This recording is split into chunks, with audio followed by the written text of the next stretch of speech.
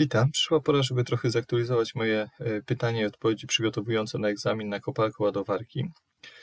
E, może spokojnie korzystać z moich starszych filmów. Pytania się aż tak bardzo nie zmieniły, maszyny się tak nie zmieniają. Doszło parę rozwiązań proekologicznych, które w starszych filmach są poruszone krócej albo wcale. E, ogólnie oparłem tą bazę pytań na moim 13-letnim doświadczeniu przy szkoleniach na koparkę ładowarki, plus to, co pisaliście w komentarzach. Pytania takie ogólne do tych maszyn są znane i tutaj będą zawarte. Oczywiście zawsze może się trafić coś, gdzie no wiadomo, że tam egzaminator czasem coś się wykazać, czego tu nie ma. Piszcie w komentarzach, będziemy sobie odpowiadać. Natomiast najważniejsze rzeczy tutaj udało mi się zgromadzić. Omów ogólną budowę koparką ładowarki. Nadwozie składa się z ramy nadwozia i tutaj jeżeli się przyjrzymy tej ramie, to jakby jest spójna, natomiast można z niej wydzielić ramę główną, która podtrzymuje osprzęt ładowarkowy, tutaj spornik osprzętu ładowarkowego, przymocowany osprzęt ładowarkowy, wysięgnik, siłownik, łyżka. Natomiast z tyłu, przyspawaną do ramy głównej, mamy ramę poprzeczną z podporami i spornikiem osprzętu koparkowego, do którego jest przymocowany dalej wysięgnik, ramię, łyżka. Budowa osprzętu będzie dalej podana. Silnika spalinowego, który jest źródłem energii mechanicznej dla maszyny, zasila układ hydrauliczny, układ jazdy, układ elementów roboczych, czyli osprzęt roboczy, później będzie dokładnie wymienione, będą dokładnie wymienione te elementy, kabiny operatora, ROPS, FOPS też później będą wymienione, no i drobne elementy w nadwoziu, jak zbiorniki, osłony, tym podobne rzeczy. Jeżeli zaś chodzi o podwozie, to składa się z układu napędowego i tutaj możemy spotkać w koparku ładowarce napęd hydrostatyczny, hydrokinetyczny lub mechaniczny. Wszystkie układy będą później omówione dokładnie ich budowa. Układu hamulcowego hydrostatycznego i tutaj w koparku ładowarce przeważnie spotykamy takie rozwiązanie jak hamulce wielotarczowe mokre, schowane w tylnim moście tylko. Przód hamuje przez wały, jeżeli napęd jest załączony. Układ kierowniczy hydrostatyczny, czyli mamy pod kierownicą orbitor, rozdzielacz dwuchobrotowego, którym precyzyjnie wysyłamy olej z pompy, kręcąc kierownicą, do siłowników skrętu. Tu mam akurat dwa siłowniki skrętu, widzimy, więc to jest maszyna z układem 4WS i krab prawdopodobnie. Zawieszenie bardzo proste, jeden most wachliwy, żeby zachować tutaj przyczepność na terenie nierównym. Przedni most jest wachliwy około 20 stopni.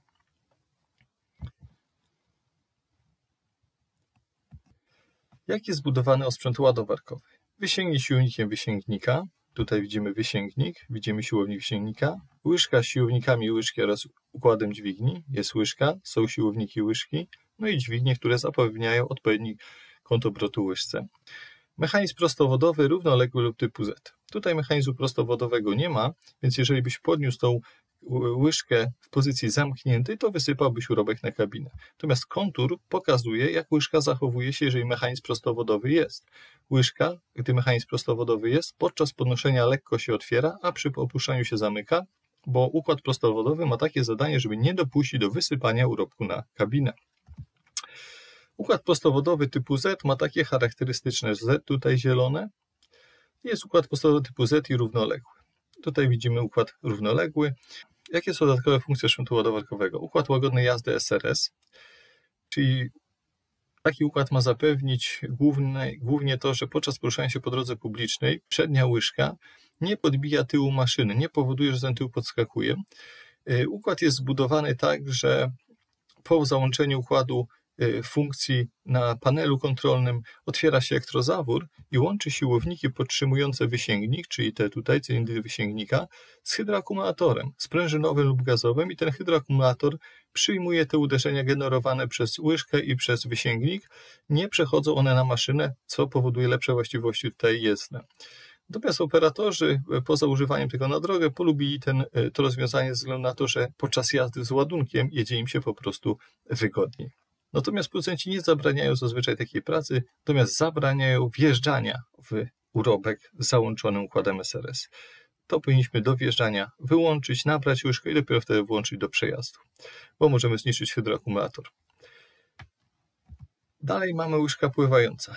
Łyżka pływająca, funkcja polegająca na tym, że jeżeli ją załączysz, to te siłowniki, które podtrzymują wysięgnik, na rozdzielaczu będą połączone w taki sposób, że nie będą w ogóle podtrzymywały tego wysiłka, czyli przestrzeń przed tłokiem będzie połączona z przestrzenią za tłokiem. Olej swobodnie przepływa, tłok sobie może tutaj pracować, przesuwać się jak chce.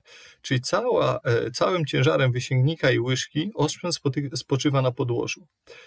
E, no i właśnie o to w tym chodzi, żeby on spoczywał swoim ciężarem na, podłożu, na podłożu, bo ta funkcja została wymyślona po to, żeby równać teren, czyli nawozimy luźnej ziemi, wysypujemy łyżką, a później chcemy to wyrównać, włączamy e, łyżkę pływającą, jedziemy do tyłu i zbieramy, gdzie jest wyżej, zasypujemy tam, gdzie jest niżej. W JCB ta funkcja załącza się przez pchnięcie maksymalnie dźwigni od sterowania sprzętem ładowarkowym do przodu, ona się zatrzaśnie w położeniu czwartym zatrzaskowym, to się nazywa przez zatrzaskowy układ pływający. Natomiast musisz pamiętać, żeby tę funkcję załączyć, to musi maszyna stać w miejscu, osprzęt dopuszczony. Powrót do kopania, czyli funkcja, która ma zapewnić, że łyżka ustawi się równolegle do podłoża. Czyli wyobrażamy sobie sytuację, wysypaliśmy na samochód, na pryzmę urobek, no i teraz musimy cofać. Jeżeli ma załączone funkcję powrót do kopania, samo poziomowanie łyżki, na przykład w JCB to jest trzeci przycisk na dolnym panelu, mogę spokojnie cofać, obserwować otoczenie z tyłu, łyżka sama się mm, zamknie i ustawi do pozycji przygotowującej do nabierania. Czyli takie trzy funkcje dodatkowe mamy w sprzęcie ładowarkowym, układ łagodnej jazdy SRS, łyżka pływająca, powrót do kopania. Omów budowę sprzętu koparkowego. Mamy tutaj mechanizm obrotu oparty na siłownikach. Później mamy wysięgnik siłownikiem wysięgnika, ramię siłownikiem ramienia, łyżka z siłownikami i łyżki i dźwigniami, które zapewniają tutaj odpowiedni kąt obrotu łyżki 200, 215 stopni nawet. Teleskopowy wysuw ramienia, który jest standardem obecnie w koparku ładowarkach. No i kiedyś spotkałem się pytanie o, jak się nazywają stworznie. No stworzenie nazywa się tego, co mocują, czy mamy stworzenie wysięgnika, stworzenie siłownika ramienia tutaj na przykład, czy stworzenie łyżki. Jak jest zbudowany hydrokinetyczny napęd jazdy w koparku ładowarce? Mamy tutaj silnik spalinowy, który tu widzimy. Później mamy zmiennik momentu przekładnię hydrokinetyczną. Później mamy skrzynię biegów synchroniczną lub power shift wały, mosty, koła i maszyna jedzie. Sam, e, sama przekładnia, e, obsługa tej przekładni, skąd bierze olej, co zrobić, jeżeli świecić kontrolka temperatury oleju w skrzyni biegów przekładni, to wszystko jest w dalszej części filmu i to są właśnie, jest dużo pytań o to, więc staraj się dokładnie obejrzeć. Jest to napęd dominujący w koparku ładowarkach, bo dobrze chroni układ jazdy w razie przeciążenia. Jeżeli wiedziesz urobek, maszyna nie daje rady, to po prostu rozłącza napęd na przekładni, na zmienniku, dzięki czemu układ jest chroniony. Z drugiej strony przekładnia daje też przełożenie do trzech razy większe, czyli do trzech razy potrafi zwiększyć moment obrotowy, co daje dużą siłę na, na, na łyżce. Jak jest zbudowany hydrostatyczny, hydrostatyczno-mechaniczny napęd jazdy w koparko ładowarce? No i tutaj mamy silnik, pompa hydrauliczna, rozdzielacz, silnik bądź silniki hydrauliczne. No bo tu możemy spotkać wiele różnych rozwiązań w zależności od producenta. Podstawowe to jest, gdzie jest silnik spajnowy pompa hydrauliczna, rozdzielacz i jeden silnik hydrauliczny. Później już mamy część mechaniczną, przekładnia ze skrzynką rozdzielczą, wały, mosty, koła. Ale można spotkać przykład koparkę ładowarki 1CXJCB, gdzie są dwa silniki. Jedno, jeden silnik napędza jedno koło tylnie, drugi drugie, a przód jest napędzany przez łańcuchy. Bo poza tym, że te silniki z tyłu napędzają koła, to jeszcze mają koła zębate, przez, na nie założone są łańcuchy i przez te łańcuchy jest napędzane są przednie koła. Maszyna nie ma wtedy kierownicy, skręca jak maszyna gąsienicowa, po prostu napędzając jedną stronę, drugą nie. Może być też tak w końcu, że każdy koło ma swój silnik hydrauliczny. Jeżeli producent chce, to tak zrobi. Pewnie jakieś takie maszyny są gdzieś, które mają zwiększoną zdolność pokonywania wzniesień na terenie, na terenach pochyłych sobie lepiej radzą, więc przez to krótko odpowiadamy, jak jest zbudowany hydrostatyczny czy hydrostatyczny mechaniczny napęd jazdy w koparku ładowarce. Silnik, pompa hydrauliczna, rozdzielacz silnik bądź silnik hydrauliczny, w zależności jak producent zarobi. Jak jest zbudowany mechaniczny napęd jazdy w koparku ładowarce? Tu mamy silnik spalinowy znowu tradycyjnie, sprzęgło cierne, skrzynia biegów, wały, mosty koła. I tutaj, jeżeli się przyjrzymy, to tak naprawdę przy hydrokinetycznym zmieniło się tylko to, że zamieniono sprzęgło cierna z momentu przekładnię hydrokinetyczną. Więc nawet jakby było takie pytanie, to jakoś specjalnie trzeba się uczyć, jak przebiega napęd mechaniczny. Wystarczy zamienić po prostu y, w napędzie hydrokinetycznym zmiennik momentu przekładnię hydrokinetyczną na sprzęgło cierne i już mamy to gotowe. Omów obsługę codzienną koparką ładowarki przed pracą. Tu najlepiej sobie to podzielić na silnik, osprzęt, i tak dalej. Nie wszystko na raz, żeby nam się nie mieszało. No i co przy silniku sprawdzimy? Na pewno olej silnikowy, czyli maszyna musi stać na równym, płaskim terenie powinna co najmniej te 10 minut postać, żeby ten olej zdążył ścieknąć po pracy silnika. No i sprawdzamy poziom. Yy, sprawdzimy, sprawdzimy olej w skrzyni biegów. Zazwyczaj w takich maszynach olej się sprawdza w ten sposób, że zapala się maszynę, maszyna chodzi 5 minut, po 5 minutach gasimy maszynę i w ciągu 20 sekund sprawdzamy. Mówię, mam na myśli w takich maszynach, czyli w maszynach, w których zastosowano napęd hydrokinetyczny. Poziom płynu chłodniczego sprawdzamy zgodnie z wytycznymi na zbiorniczku. Maksimum, minimum nie ma zbiorniczka, to żeby zakryte było użebrowanie chłodnicy. Pamiętajmy, że nie odkręcamy korka ani od chłodnicy, ani od zbiorniczka, jeżeli silnik pracuje, jest gorący, albo jest zgaszony silnik, ale ma powyżej 70 stopni. Pamiętaj, że tam jest nadciśnienie w układzie chłodzenia, po to, żeby zwiększyć temperaturę wrzenia płynu chłodzącego. Jeżeli wyrównasz to ciśnienie na gorącym silniku, wyrzuci ten płyn i cię doskliwie poparzy. Yy, poziom płynu hamulcowego, jeżeli jest zbiorniczek, sprawdzamy zgodnie z wytycznymi producenta, z wskazaniami na zbiorniczku, natomiast musisz pamiętać, że większość maszyn tych nowych obecnie tych zbiorniczków nie ma. Nowe układy hamulcowe pobierają yy, płyn hamulcowy, czyli olej hydrauliczny ze zbiornika oleju hydraulicznego, a w starych układach czytaj dobrze, zanim coś dolejesz, bo przeważnie tam pisze, żeby nie wlewać zwykłego płynu, żeby wlać olej hydrauliczny, ewentualnie przekładniowy i tam pisze jaki. Poziom płynu spryskiwaczy standardowo, poziom elektrolitów w akumulatorach. W lecie sprawdzamy co dwa tygodnie, w zimie co cztery. Dolewamy co? Wody destylowanej. Ile dolewamy? Tyle, co wskazuje y, producent na obudowie. Może być wskaźnik albo pisze w instrukcji, ile mają być przykryte te płyty, czy 6 czy 10 mm. Napięcie pasków 10-15 mm powinien się ugiąć w najdłuższym odcinku. Przecieki, czy nie, się nie pojawiają gdzieś tam na, na silniku. E, filtr powietrza, tutaj głównie pytają, żeby omówić czyszczenie, obsługę tego filtra, bo to jeszcze operator zrobi przy maszynie, czy by, czyli trzeba pamiętać, że tam są dwa filtry, jak rozepniesz E, zaciski, pokaże Ci się filtr główny, ściągniesz osłonę i jego się czyści właśnie. Czyści się go ciśnieniem 1-2 bary, dmuchając od wewnątrz na zewnątrz. Można wcześniej światłem sprawdzić, czy nie ma dziur.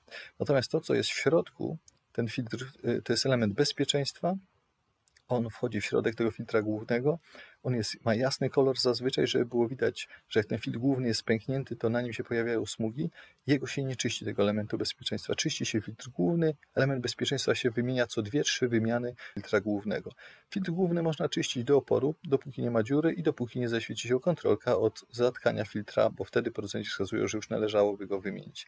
Separator wody będzie zamocowany albo jako osobno, albo pod filtrem paliwa. Jest przeźroczysty i ma za zadanie wyłapać wodę z paliwa. Woda się pojawia tam głównie na skutek kondensacji pary wodnej w zbiornikach, które są duże, a my nie zawsze tankujemy do pełna, tak jak to wskazują producenci. Więc jeżeli mm, pojawi się tam woda, on powinien to wyłapać, a my co jakiś czas powinniśmy ten separator opróżniać. I tam zazwyczaj pisze, że co 50 godzin jest naklejka przy separatorze. Oczywiście operatorzy nie zawsze to robili, więc teraz często są czujniki. Jeżeli czujnik wykryje wodę w separatorze, zaświeci się kontrolka włączy taki piszczący sygnał dźwiękowy i siłą rzeczy trzeba będzie ten separator opróżnić. Przy osprzęcie roboczym co sprawdzimy? Smarowanie zgodnie z instrukcją, co tyle godzin, co producent wskazuje, tak jak producent wskazuje, czyli raz, dwa razy przetłoczyć, stary smar wychodzi, jest nasmarowane. Poziom oleju hydraulicznego, na zbiorniczku jest wiernik, sprawdzamy tak jak producent podaje. E, sprawdzamy osprzęt pod kątem pękni. Zabezpieczenie stworzni, czyli część stworzni jest zabezpieczone śrubami, część zawleczkami, Zawsze jakieś zabezpieczenie jest, żeby się nie usuwał i sprawdzamy, szczególnie przy łysce. Sprawdzenie przecieków na przewodach hydraulicznych, na siłownikach, na tłoczyskach, bo tam się najczęściej pojawiają. No i sprawdzamy naczynie robocze. Tutaj łamią się zęby, odkręcają się zęby, pękają ściany łyżek, e, pękają mocowania łyżek. Maszyna ciężko pracuje, trzeba wziąć wszystko pod uwagę. Przy kabinie e, w kabinie sprawdzimy sterowanie rozdzielaczami, gdzie one powinny powracać jeżeli załączamy jakiś ruch jeszcze na niewłączonym, nieuruchomionym silniku, on powinien się sam wyłączać, czyli te sprężyny na suwakach powinny działać prawidłowo. E, sprawdzamy układ kierowniczy.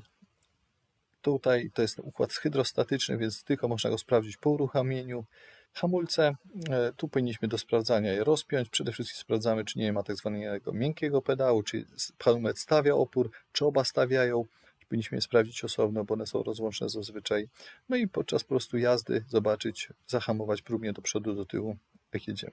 Czy tam konstrukcji kabiny, która w razie przewrócenia konstrukcja ROPS ma nas ochronić przed znieceniem, więc nie możemy sobie to pozwolić, że tam są jakieś pęknięcia, e, że są zagięcia, osłabienia tej konstrukcyjne tej kabiny. Panel sterowniczy, czy wszystkie kontrolki, które powinny świecić, świecą po przekręceniu kluczyka i czy gasną po uruchomieniu, co ważne.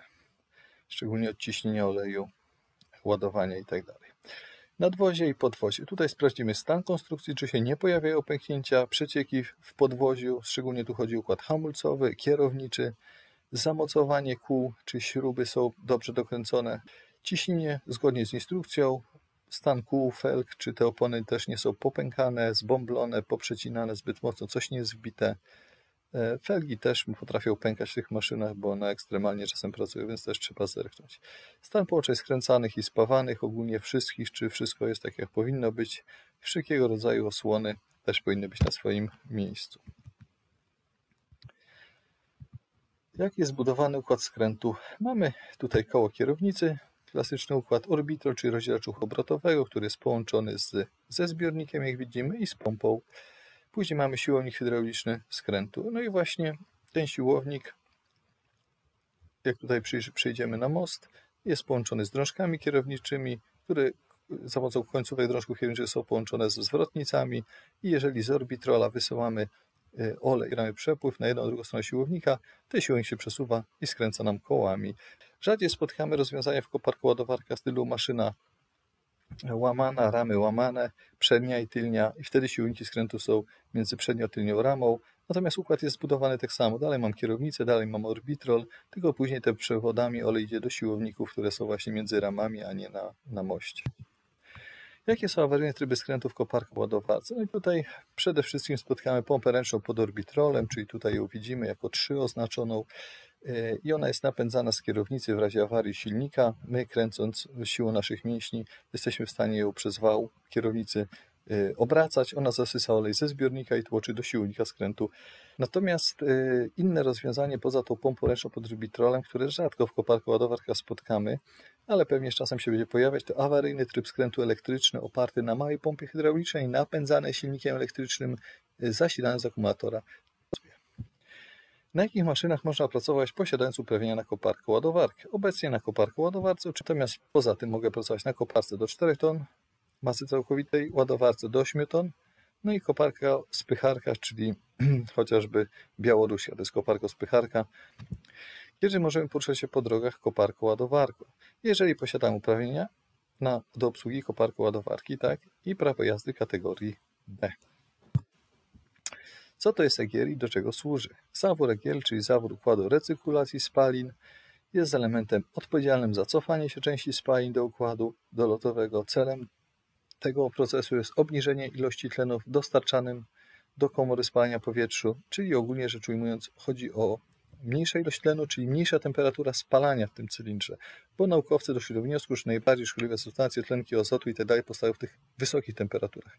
Więc jak obniżyć temperaturę spalania w cylindrze? A trochę ten silnik poddusić, puścić trochę spalin, tak jak tu widzisz, idą spaliny z silnika kolektorem wydechowym, przed turbosprężarką jest trójnik i troszkę spalin idzie na chłodnicę, EGR-u, później na EGR i na kolektor dolotowy do świeżego powietrza. I tu można sobie pomyśleć tak, no to on mi dusi ten silnik, to po co te turbodoładowanie, common ray i tak dalej. No bo widzisz, to jest tak, że EGR otwiera się tylko okresowo, kiedy pracujesz na ekonomicznych obrotach, na tym zielonym polu w maszynie. Natomiast jak uruchomisz maszynę, jest zamknięty, dodasz gazu, on się zamknie, czyli czujesz wtedy pełną moc. Natomiast tutaj otwiera się wtedy, e, kiedy jesteśmy na średnich obrotach. Jak działa układ SCR i co to jest AdBlue? W katalizatorze SCR dochodzi do rozłożenia szkodliwych dla środowiska tlenków azotu. AdBlue jest kierowany pod wysokim ciśnieniem na strumień spalin w katalizatorze, gdzie zachodzi redukcja szkodliwych dla atmosfery tlenków azotu na azot oraz wodę. Czyli chodzi o to, że właśnie tlenki azotu są zamieniane w azot i wodę, czyli coś, co jest tutaj naturalnie spotykane w środowisku i coś, co nie truje. Najprościej jak to działa, to widać tutaj, są już spaliny silnika, po czym ze zbiornika AdBlue w te spaliny jest wtryskiwany e, AdBlue, czyli ten płyn, który ma zawartość mocznika około 32%, a później to przechodzi przez katalizator SCR i te tlenki azotu są zamieniane właśnie na parę wodną i azot. Co to jest zmiennik momentu? Inaczej przekładnia hydrokinetyczna, jakie daje przełożenie. Czyli zmiennik momentu, inaczej przekładnia hydrokinetyczna zwiększa bezstopniowo moment obrotowy nawet do trzech razy. Ten moment jest zwiększony do trzech razy wtedy, kiedy maszyna jest najbardziej obciążona, kiedy wjeżdżacie w urobek bądź ruszacie z urobkiem. Jak dolać oleju do zmiennika momentu skrzyni biegów? Zazwyczaj olej do, dolewa się przez bagnet pomiaru poziomu oleju w skrzyni biegów, chyba że producent nam tutaj wskaże na to inne miejsce. Skąd pobiera olej z minik momentu i jakie jest ciśnienie z minik momentu? Z minik momentu pobiera olej ze skrzyni biegów. Ciśnienie z minik momentu będzie się wahać od 0,4 do 0,8 MPa, czyli od 4 do 8 atmosfer. Jak jest zbudowany zmiennik momentu? Jest zbudowany z wirnika pompy, wirnika turbiny, kierownicy i obudowy, czyli tak jak widzisz na rysunku poniżej. Co zrobić, jeżeli zaświeci się kontrolka wskazująca przegrzanie oleju w zmienniku momentu w skrzyni biegów, czyli ta temperatura zbliża się do 120 stopni. Tutaj y, widzisz tą kontrolkę, zakreśliłem kółeczkiem, żebyś w maszynie umiał to rozpoznać. Jest to kropelka oleju, koło zębate, oznacza to temperaturę oleju w skrzyni biegów z momentu. Należy wtedy przerwać pracę, włączyć bieg jałowy, poczekać aż kontrolka zgaśnie. I wtedy można wrócić normalnie do pracy. I tutaj wchodzimy y, w hydraulikę, a szczególnie w zawory, które są bardzo ważne. Więc tutaj, y, zanim wyświetlę Ci zawory, definicje, to dobrze jest, żebyś się tutaj przyjrzał, przyjrzała. E, jak wygląda mniej więcej taki prosty układ hydrauliczny, gdzie są rozmieszczone zawory, bo właśnie pytają, gdzie jest dany zawór i co robi. Idąc od dołu, na samym dole mamy zbiornik oleju hydraulicznego, następnie filtr oleju hydraulicznego, zawór zwrotny, który tutaj zapobiega temu, żeby olej się cofał z układu, jeżeli silnik jest zgaszony. Y, i pompa nie pracuje, no to grawitacyjnie by ściekał, ale zawór zwrotny puszcza tylko w jedną stronę, więc na to nie pozwoli. Następnie mamy zawór przelewowy, który ustala nam tak zwane ciśnienie robocze, czyli to, co konstruktor przewidział dla maszyny, tak jak konstruktor przewidział, maksymalne podczas pracy. Jeżeli przekroczysz ciśnienie na skutek podnoszenia zbyt dużego ciężaru, zawór ma się otworzyć i puścić olej na zbiornik. Jeżeli wykonasz jakiś ruch siłownikiem do końca, nie ma się gdzieś siłownik przesunąć, a pompa pompuje olej, ciśnienie rośnie, zawór się otwiera, puszcza na zbiornik. Właśnie tak możesz sobie ten zawór sprawdzić przez wysunięcie siłownika do końca. Następnie mamy rozdzielacz. Jest to rozdzielacz trzypołożeniowy sterowany ręcznie. Mamy zawór bezpieczeństwa przeciążeniowy, y, który powinien mieć jeszcze połączenie tutaj na zbiornik, ale w zasadzie to nie o to chodzi. Ważne jest, że, żeby wiedzieć, gdzie on jest zamontowany między mm, rozdzielaczem a siłownikiem, dlatego że zawory bezpieczeństwa przeciążeniowy czy krzyżowy mają właśnie chronić przewody i siłownik hydrauliczny w przypadku zaworu przeciążeniowego, a jeżeli tu był krzyżowy, to, to tu by był silnik hydrauliczny. Czyli on jest wtedy umiejscowiony między silnikiem a rozdzielaczem. Na skutek, kiedy one mają zadziałać? Wtedy, jak uderzysz w coś osprzętem, osprzęt się składa, siłownik jest wpychany, ciśnienie rośnie, zawór się otwiera i puszcza na zbiornik, żeby nam nie zniszczyło przewodów czy siłownika. Następnie mamy zamki hydrauliczne zamontowane przy siłowniku, które mają chronić układ przed pęknięciem przewodu.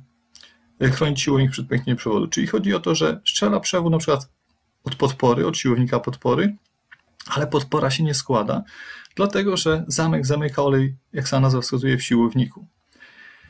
E, brakuje tu zaworu dławiącego, który mógłby być na przykład gdzieś tutaj. On by, mm, zmniejszał natężenie przepływu oleju, czyli olej wraca z siłownika do zbiornika, a zawór dławiący dławi ten przepływ, zmniejszając natężenie przepływu i w ten sposób spowalniając prędkość opadania siłownika, składania się, rozkładania się, czy y, w ten sposób też mogą być regulowane obroty silnika hydraulicznego.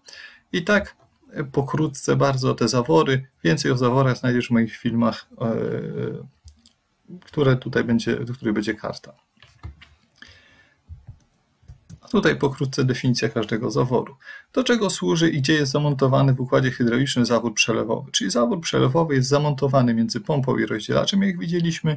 Jego zadaniem jest utrzymanie stałego ciśnienia w układzie hydraulicznym, tak zwanego ciśnienia roboczego. Do czego służą i gdzie są zamontowane w układzie hydraulicznym zawory bezpieczeństwa przeciążeniowy i krzyżowy? Zawory bezpieczeństwa mają za zadanie zabezpieczyć układ przed nagłym wzrostem ciśnienia ponad dopuszczalną wartość 120%. Wyróżniamy zawory przeciążeniowe, które chronią siłowniki i zawory krzyżowe, które chronią silniki hydrauliczne. Oba typy zaworów otworzą się po przekroczeniu ciśnienia roboczego o 20%, czyli przy 120%.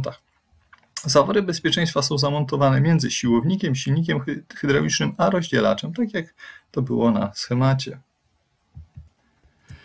Do czego służy gdzie jest zamontowany w układzie hydraulicznym zawór zwrotny sterowany, inaczej zamek hydrauliczny. Zamek hydrauliczny ma za zadanie zabezpieczyć siłownik przed złożeniem się w przypadku pęknięcia przewodu, jest zamontowany na siłowniku. Do czego służy gdzie jest zamontowany w układzie hydraulicznym zawór dławiący? Zawór dławiący zmniejsza natężenie przepływu cieczy i w ten sposób steruje szybkością ruchów siłownika i silnika hydraulicznego. Jest zamontowany pomiędzy siłownikiem, silnikiem hydraulicznym a rozdzielaczem. Do czego służy gdzie jest zamontowany w układzie hydraulicznym zawór zwrotny? Zawór zwrotny ma zadanie puszczać olej tylko w jednym kierunku. Jest zamontowany na przykład między pompą a zbiornikiem po to, aby olej z układu nie spłynął do zbiornika, jak maszyna jest zgaszona. Jak jest zbudowany układ hydrauliczny w maszynie? Czyli chodzi tu o ogólną budowę układu. Układ hydrauliczny będzie się składał z takich elementów jak zbiornik, filtry, pompa hydrauliczna, przewody hydrauliczne, zawory hydrauliczne, rozdzielacz, siłownik lub silnik hydrauliczny, w zależności czy to jest układ roboczy, jazdy jak jest skonstruowany, hydroakumulator. To takie główne elementy Jakie są rodzaje siłowników hydraulicznych? Omów budowę y, siłownika tłokowego. Siłowniki hydrauliczne mamy tłokowe, najczęściej spotykane w maszynach nurnikowe, teleskopowe. Y, natomiast te tłokowe, najczęściej spotykane z maszynach, będą się składać z obudowy tłoka, tłoczyska, pakietu uszczelnień tłoka, uszczelnień zgarniających i dławiących. Tutaj siłownik, y, który jest w maszynie tłokowej, to jest siłownik zawsze praktycznie dwustronnego działania.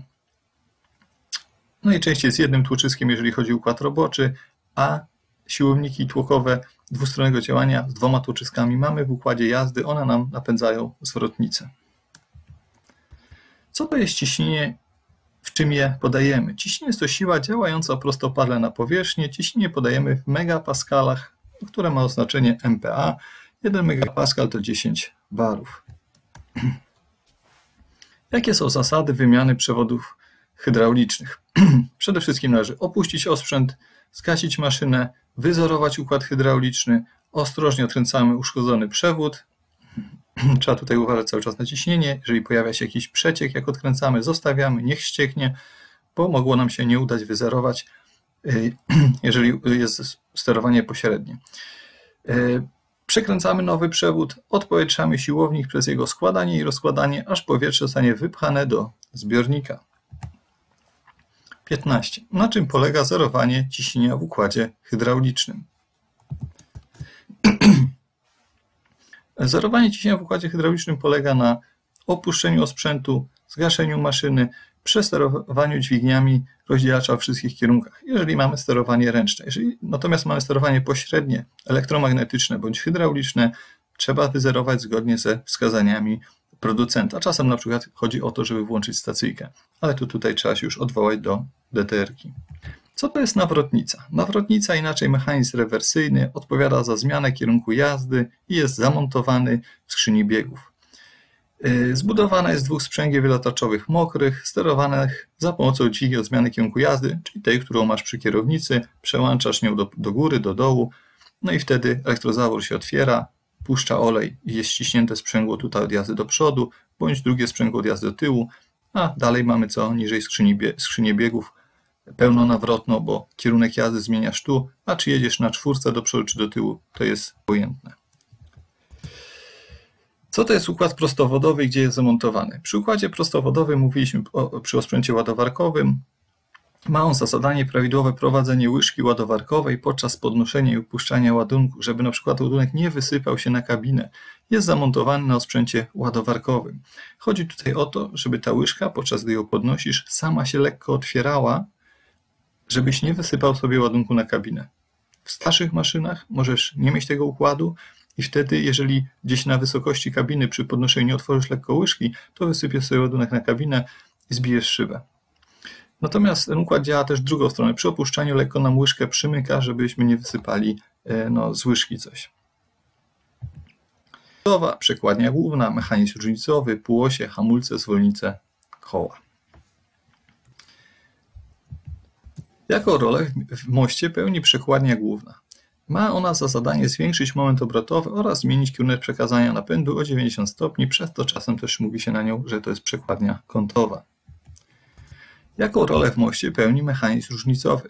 Ma za zadanie pozwolić na obracanie się kół z różną prędkością przy pokonywaniu zakrętu Natomiast mechanizm różnicowy stwarza też pewien problem, dlatego że on daje większy napęd na to koło, co ma lżej. W związku z tym, jeżeli się jedzie maszyną w błoto, w śnieg, zaczyna się ślizgać koło, drugie nie ciągnie, wtedy jest takie rozwiązanie jak blokada mostu. W innych maszynach znowu udzielony hamulec, żeby sobie przyhamować to koło, co ma poślizg, a w innych tak zwane mosty z zwiększonym tarciem, gdzie część napędu jest przekazana na e, to koło, które ma przyczepność. Co to jest zwolnica? Jest to przekładnia zębata, która ma za zadanie zwiększyć moment obrotowy. Montowana jest w piastach kół maszyn, najczęściej w postaci przekładni planetarnej. Czyli tutaj zwolnicę, jeżeli mamy napęd na cztery koła, w każdym kole, w każdej piaście jest po prostu e, zwolnica.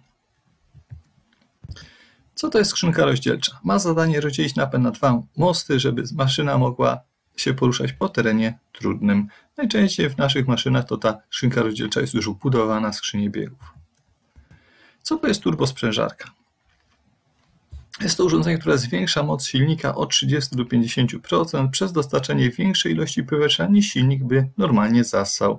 Składa się z turbiny, która napędzają, którą napędzają spaliny i sprężarki, która właśnie tłoczy powietrze do kolektora dolotowego, do silnika jak transportować maszynę z silnikiem turbodoładowanym? Trzeba zatkać komin, żeby wpadające powietrze nie obracało wirnikiem sprężarki, no bo wtedy by bez smarowania wirnik się obracał i zużyłyby się szybciej łożyska. Jak uruchamiać maszynę z turbodoładowaniem po dłuższym postoju? Trzeba 2-3 razy przekręcić rozrusznikiem bez uruchomienia, aby wał sprężarki się nasmarował. No bo chodzi tu o to, że po uruchomieniu, jeżeli maszyna stała na przykład pół roku czy rok, wirnik y, turbiny wejdzie bardzo szybko na duże obroty na skutek działania spalin 80-100 tysięcy obrotów na minutę, a oleju tam może nie być, więc trzeba 2-3 razy ruszyć e, silnikiem tak, żeby pompa olejowa pchnęła olej smarny. To czasem może się silnik uruchomić, to trzeba szybko zgasić. Po ilu minutach zgasić silnik z turbodoładowaniem? Zgodnie z deterką producenta. Taka jest prawidłowa odpowiedź, tylko i wyłącznie. Jakie rodzaje kabin spotykamy w maszynach? ROPS, czyli jest to kabina podstawowa, która, którą każda maszyna nowa musi mieć, żeby mieć deklarację zgodności, ten certyfikat C. Ta kabina ROPS chroni operatora przed zgnieceniem w razie przewracania się maszyny. Jak się maszyna przewraca, powinniśmy zostać w środku, trzymać się kierownicy, mieć zapięte pasy i kabina nas ochroni. Oczywiście poza sytuacją, gdzie gdzieś tam spada z przepaści 100 metrów, czy lecimy do wody, no czasem trzeba wiać, no ale na prostym terenie kabina nas ochroni. FOPS chroni operatora przed spadającymi elementami, czyli zakłada się to okratowanie na, na konstrukcję ROPS i to chroni operatora, jak coś spadnie, żeby nie, nie wpadło do kabiny, nie wybiło szyby. Jak jest zbudowany rozrusznik? Obudowa, wirnik, stojan, włącznik elektromagnetyczny, szczotkotrzymacze z szczotkami, sprzęgło biegu jałowego, tulejki. Jak jest zbudowany alternator? Obudowa, firnik, stojan, regulator, napięcie, e, napięcia ze szczotkami, pierścienie ślizgowe, mostek prostowniczy z diodami. Tych diod będzie 6 albo 9 w alternatorach samowzbudnych. Jak jest zbudowany układ schłodzenia cieczą silnika spalinowego? Mały obieg, będzie to pompa, blok silnika, który ma e, płaszcz wodny, który tam omywa te cylindry, następnie termostat, a duży obieg to jest chłodnica, wentylator, przewody, Zbiorniczek wyrównawczy. Jaką rolę pełni termostat? Otwiera i zamyka duży obieg chłodzenia. Jak jest zbudowany układ zasilania silnika wysokoprężnego? Zbiornik, pompa zasilająca, filtry, pompa wysokociśniowa, przewody wysokociśniowe, wtryskiwacze, przewód powrotu. I tutaj mamy właśnie pompę zasilającą, jedyneczka, dwójka, zbiornik paliwa, trójka, filterek, czwóreczka, pompa wysokociśniowa, piątka, wtryskiwacze, szóstka przewód powrotu. To jest taki typowy układ. Sanie, sprężanie, praca, wydech. Tutaj na rysunku widzimy sanie, sprężanie, praca, wydech. Też takie pytanie ważne, trzeba to wiedzieć. Jaką rolę w maszynie pełni filtr cząstek stałych, jest zwany DPF? Ma zadanie oczyścić z cząstek stałych, czyli sadzy po prostu i takie filtry w maszynach zazwyczaj albo zazwyczaj są rozwiązania, trzy rozwiązania, albo się wypalają same, włącza się tryb wypalania i wtedy po prostu nic nie powinno się robić. Zostawić to wszystko komputerowi, który ustawi odpowiedni obrot. Jak się skończy to, to wypalanie, to on e, wyłączy się tryb wypalania i odzyskamy kontrolę nad maszyną. Albo może to wypalanie polegać na tym, że w sieci kontrolka operator ma ustawić parametry pracy, obroty i tak dalej zgodnie z mm, tym, co jest podane w literce, albo wypala tylko serwis,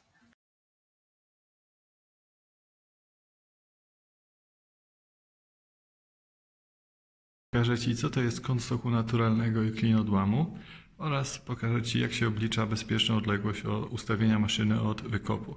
To jest rzecz bardzo ważna dla każdego operatora, żeby po prostu nie stanąć na klinie odłamu, żeby nie wpaść do maszyny do wykopu. Przede wszystkim podstawowa rzecz, kąt stoku naturalnego, czyli to, mamy też tutaj to oznaczone. Co to za kąt? To jest kąt, dla który, który dla każdej kategorii gruntu jest inny. Tak, tutaj widzisz różne kategorie i różne kąty stoku naturalnego. I e, to jest kąt, do którego grunt dąży samoistnie, samoczynnie.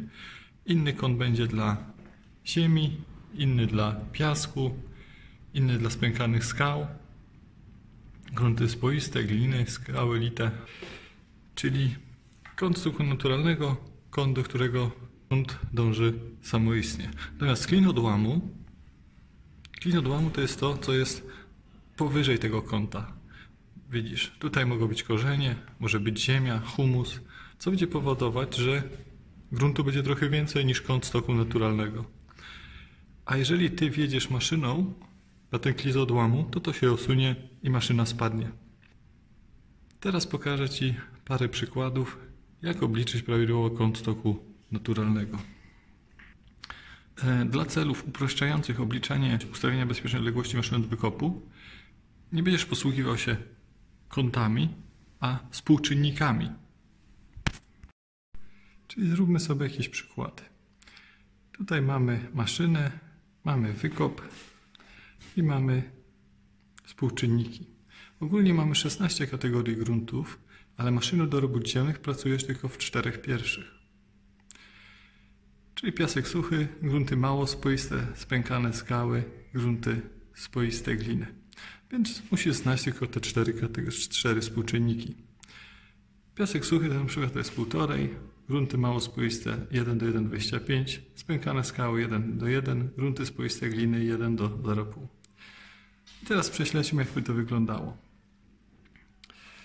E, pracujemy, przypuśćmy, w pierwszej kategorii. Wykop ma mieć głębokość 3 metry. Pierwsza kategoria, czyli współczynnik 1,5. 1,5 razy 3 daje nam 4,5 metra, plus zawsze doliczamy 0,6. Jest to 50, czyli maszynę, krawędź maszyny, podpory maszyny, w zależności od rodzaju maszyny, ma być ustawiona poza podstawę nasypu, krawędź na wykopu 50 metra. I wtedy znajdujesz się poza klinem odłamu i jesteś co? Bezpieczny, maszyna się nie, nie osunie. Następny przykład. Przypuśćmy, że wykop ma mieć 2 metry, a ty pracujesz w gruntach mało spoistych, czyli jest współczynnik 1 do 1,25. 2 metry razy 1,25 to jest 2,5 metra, plus 0,6 to jest 3,10. Czyli maszyna musi być osunięta od podstawy, podstawy nasypu 3,10 metra. Następny przykład. Mamy do czynienia ze spękanymi skałami. Współczynnik 1,1, a wykop 4 metry. To 4 razy 1, 4 plus 0,6, 4, 6 metra maszyna ma być odsunięta od krawędzi na wykopu. No i jeszcze przykład dla gruntów spoistych glin, gdzie współczynnik jest 1 do 0,5, czyli przypuśćmy mamy 5 metrów głębokość wykopu razy 0,5, 2,5 metra plus 0,6 zawsze czyli 3,10 musimy się odsunąć od krawędzi dna wykopu. Tak właśnie należy tutaj postępować, odpowiadać na egzaminie i w pracy tak postępować, żebyśmy się nigdy nie osunęli do, do wykopu. Klin odłamu. A to, co zostanie, posunięciu się klina odłamu. To jest kąt stoku naturalnego, różny dla różnych gruntów. Co to jest kąt stoku naturalnego? Czyli tu mamy tą definicję, którą trzeba się nauczyć na pamięć. E, kąt stoku naturalnego, największy kąt, pod jakim grunt może się utrzymać w zboczu, w skarpie, w stanie równowagi trwałej. I taką definicję trzeba się właśnie nauczyć. Co to jest klin odłamu? Klin odłamu jest to ta część gruntu, która może się osunąć pod wpływem ciężaru własnego bądź ciężaru maszyny. No to tak jak mówiliśmy, to jest to, co się osuwa, to co staje to jest klin, e, kąt stoku naturalnego, a to, co się osuwa, to jest klin odłamu. Ile jest kategorii gruntów, w których kategoriach można pracować maszyną do robót ziemnych? Wszystkich kategorii gruntu jest 16, maszyną do robót ziemnych można pracować w czterech pierwszych kategoriach, zgodnie z tym tabelą, co wcześniej widzieliśmy, w tym osprzętem koparkowym do czwartej, a ładowarkowym tylko do drugiej. Jaka jest bezpieczna odległość od maszyny dla osób postronnych? Bezpieczna odległość dla osób postronnych wynosi najdalszy zasięg maszyny plus 6 metrów. Podaj współczynnik spłuśnienia gruntów. Ogólnie współczynnik spłuśnienia gruntu e, wiąże się z tym, że wydobycie gruntu z podłoża zleżałego spowoduje, że tego gruntu przybędzie. Pomiędzy cząsteczki gruntu dostanie się powietrze i przez to objętość tego gruntu wzrośnie. Jeżeli wykopiemy w takim razie wykop, który będzie miał e, objętość metra sześciennego, to ziemi, którą, ziemia, którą wydobędziemy, będzie miała objętość metr 11. E, przepraszam, piach, który wydobędziemy, będzie miał metr 11, bo dla piasku współczynnik spóźnienia to jest 1,11, czyli taki wykop, jaki zrobimy, objętość tego wykopu razy 1,11. Jeżeli to będzie ziemia zwykła, no to przy wykopie objętości metra wydobędziemy tej ziemi 1,25. Jeżeli to będą y, grunty gliniaste, będzie 1,43. Jeżeli to będą grunty skalne, czwarta kategoria, 1,66. Wymień elementy stroju operatora. Ubranie robocze, kamizelka, kas, rękawice, obuwie robocze, okulary. Kolejna rzecz, bez której nie ma co podchodzić do egzaminu, czyli jaka jest bezpieczna odległość ustawienia maszyny w pobliżu linii energetycznych. E, ogólnie im większe napięcie na linii, tym dalej może przeskoczyć tak zwany łuk elektryczny, więc wraz ze wzrostem napięcia bezpieczna odległość ustawienia maszyny jest coraz większa. I pamiętaj, że to się mierzy od zasięgu maszyny do e, najbliższej linii, ale w płaszczyźnie poziomej mierzymy, a nie po skosie. I tutaj, jeżeli mamy, jeżeli mamy, tak jak tutaj zresztą jest mierzone, jeżeli mamy linię do 1 kV, to bezpieczna odległość jest 3 metry. Jeżeli mamy linię od 1 do 15 kV, 5 metrów. Jeżeli od 15 do 30 kV, 10 metry. Jeżeli od 30 do 110 kV, 15 metry. Powyżej 110 kV 30 metrów. Czasem pytają też, a jeżeli nie ma oznaczenia na linii, to wtedy należy powiedzieć, że przyjmuje największą odległość, czyli 30 metrów.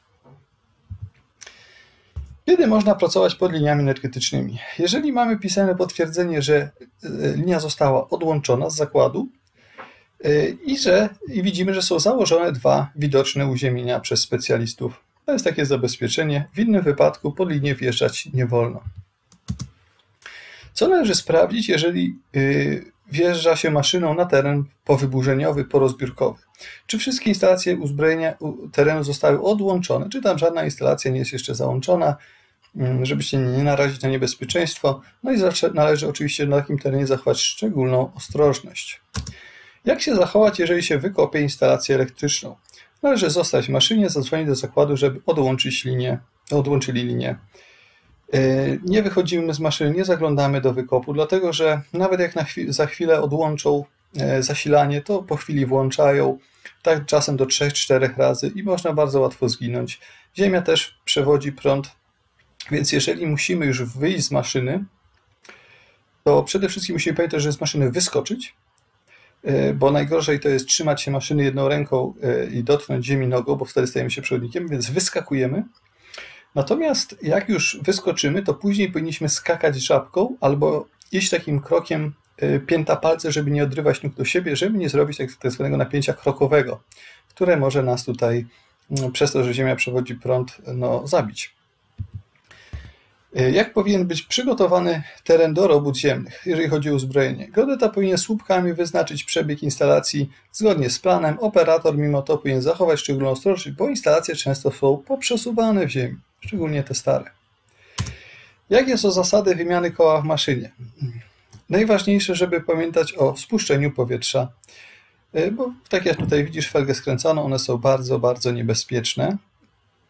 E, bo jak się odkręci parę śrub, to taką felgę rozrywa, one mają siłę po kilkadziesiąt ton, muszą trzymać te śruby czasem w dużej maszynie, więc ginie się na miejscu. Poza tym podnosimy się na osprzęcie, na płaskim terenie, zabezpieczamy maszynę, odkręcamy koło, czyli takie standardowe procedury. Co wpływa na wydajność maszyny? Parametry maszyny, sprawność maszyny, zdolność operatora, kategoria gruntu, w której się pracuje. Inaczej się pracuje w piasku, inaczej w gruntach gliniastych, skalistych, czy warunki atmosferyczne. Kiedy operator ma obowiązek odmówić wykonania pracy?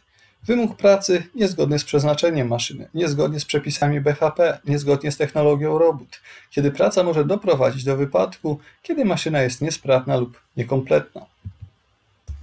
Jakie są czynności zabronione podczas pracy? Praca maszyna niezgodna z przeznaczeniem maszyny, niezgodna z przepisami BHP, niezgodna z technologią robót, podnoszenie ludzi na osprzęcie, niezachowanie odległości od linii, e, niezachowanie bezpiecznej odległości od e, tutaj mm, zbocza, e, od wykopu, tak, że może się osunąć, możemy wjechać na klin odłamu. Tego typu rzeczy. Praca na terenie, którego nie znamy, czy jest uzbrojony, czy nie, nie wiemy rozłożenia instalacji, Jaką rolę w układzie hydraulicznym pełni zawór antykawitacyjny? Ma za zadanie zapobiec podciśnieniu kawitacji, podczas gdy opuszczamy osprzęt grawitacyjnie, czyli na przykład opuszczamy pełną łyżkę z ziemią ładowarkową czy koparkową, no to od spodu siłownik jest połączony ze zbiornikiem, a z góry pompa podaje olej. Ale jak maszyna chodzi na małych obrotach, ta pompa może nie nadążyć, więc powstanie podciśnienie. Żeby takie podciśnienie, które jest bardzo niszczące dla układu, nie powstało, zawór się wtedy antykawitacyjny otwiera, i siłownik sobie zasysa olej ze zbiornika, wyrównuje sobie w ten sposób ciśnienie i chroni układ przed kawitacją. Jest zamontowany w rozdzielaczu. Jakim prądem ładujemy akumulator? Prądem stałym o wartości 10% pojemności akumulatora, czyli na przykład akumulator ma pojemność 80 Ah, to ładujemy go przez 80 godzin prądem 8 A. Co dolewamy do akumulatora? Jaki powinien być poziom elektrolitu w akumulatorze? Dolewamy do akumulatora oczywiście wodę destylowaną tylko i wyłącznie. Prawidłowy poziom elektrolitu zgodny z DTR maszyny. Akumulator może mieć też wskaźnik poziomu elektrolitu. Jakie są rodzaje połączeń akumulatorów? Szeregowe, gdzie sumują się napięcia akumulatorów, yy, czyli plus minus. Z jednej strony akumulatoru łączymy, a z drugiej strony łączymy z maszyną yy, klemą dodatnią i klemą ujemną. Wtedy jest na przykład dwa akumulatory 12V i mamy 24 V. Stosuje się to w maszynach, gdzie trzeba duży prąd rozruchowy. Żeby mieć większy prąd rozruchowy, na przykład w koparkach czy w dużych maszynach budowlanych. Połączenie równoległe. E, plus z plusem, minus z minusem, czyli na przykład jak pożyczamy prąd z innej maszyny, tutaj pamiętajmy o kolejności. Pierwsze podłączamy plus do tej maszyny, z której bierzemy prąd, do sprawnego akumulatora, później do plusa naszego, a później minus E, do tamtej maszyny i u nas minus nie do akumulatora, a do ramy, żeby akumulator nie wybuchł, nie iskrzyć przy akumulatorze. E, podłączamy właśnie do, do, do silnika. I, I, tutaj się sumują pojemności akumulatorów w połączeniu równoległym. W jakiej kolejności połączymy, podłączamy i odłączamy akumulator? Podłączając pierwsze podłączamy zawsze plus, a później minus, a odłączając odwrotnie, czyli pierwsze minus odłączamy, a później plus. Czyli najkrócej mówiąc, E, plus ma być jak najdłużej przy akumulatorze. Wtedy się mniej iskrzy jest bezpiecznie. Warto też odłączać masę w maszynie. Zawsze jest jakiś tam mm, e, odłącznik masy przy akumulatorze, wtedy jest najbezpieczniej. Też jak się z innej maszyny bierze prąd, zawsze trzeba pamiętać, że musi być to samo napięcie w maszynach, czyli 12 i 12 bądź 24 i 24. E, no i tutaj mamy tak. Jakim, jak sprawdzamy poziom naładowania akumulatora i jaka jest prawidłowa gęstość elektrolitu? Poziom naładowania akumulatora sprawdzamy poprzez pomiar gęstości elektrolitu areometrem. I tutaj z boku tak wygląda areometr, mierzy się nim gęstość elektrolitu. Właściwa gęstość powinna wynosić między 1,26 a 1,28 g na centymetr sześcienny.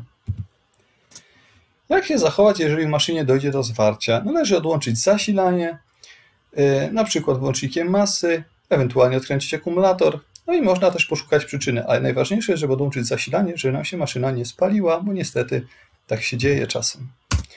Do czego służy bezpiecznik w instalacji elektrycznej? Jest to najsłabszy element obwodu, który w razie wystąpienia zwarcia ma się przepalić i w ten sposób przerywa obwód i chroni inne elementy cenniejsze naszego e, układu.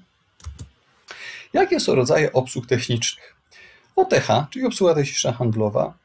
Następnie, jak kupimy nową maszynę, to mamy OTT, obsługę techniczną transportową. E, przywieźliśmy nową maszynę, to mamy OTD, obsługę techniczną docieranie, no bo maszyna jest nowa. Następnie mamy OTC, czyli obsługę techniczną codzienną, którą wykonujemy przed pracą, w trakcie pracy i po pracy. Następnie mamy OTO, czyli serwis maszyny. Jest OTO 1 po 500 godzinach, OTO 2 po 1000, OTO 3 po 1500 i tak dalej, i tak dalej. To wykonuje serwis zgodnie z harmonogramem serwisowym, który jest ETTRC. OTS, czyli obsługa techniczna sezonowa, przygotowanie maszyn do pracy w sezonie letnim i zimowym. OTM, obsługa techniczna magazynowa, czyli jak maszyna ma tam właśnie przestać dłuższy okres, to trzeba je odpowiednio przygotować. I to jest wszystko w DTRC. Te wszystkie obsługi są w DTRC zapisane. I tutaj y, namawiam Cię, żebyś się nauczył właśnie przez takie skojarzenia, że handlowa, później transportowa, później docieranie, bo tak się łatwo, łatwo zapamiętać jest pewien cykl. Natomiast oczywiście jak się nauczysz, tak będzie, tak będzie dobrze, no ale w miarę możliwości po kolei, tak? Jakie czynności wchodzą w skład obsługi technicznej codziennej przed pracą? Czyli właśnie te obsługi techniczne, y, oni pytają w ten sposób, że jakie są, a drugie częste pytanie z obsług to jest, na czym polega y, albo co wykona Pan w ramach obsługi technicznej codziennej przed pracą. Y, przed pracą sprawdzimy podwozie. Jeżeli to jest podwozie kołowe, to ciśnienie w kołach, które ma być zgodnie z DTR-ką. Sprawdzimy, czy opona nie jest popękana, zbomblona, czy coś nie jest wbita, a jak jest, to nie wyciągamy, czy szpilki są dokręcone, czy felga nie jest popękana. Przy sprawdzaniu podwozia warto też zajrzeć pod maszynę, czy tam właśnie nie ma wycieków, szczególnie w układzie e, skrętu hamulcowym, ale też e, na mostach.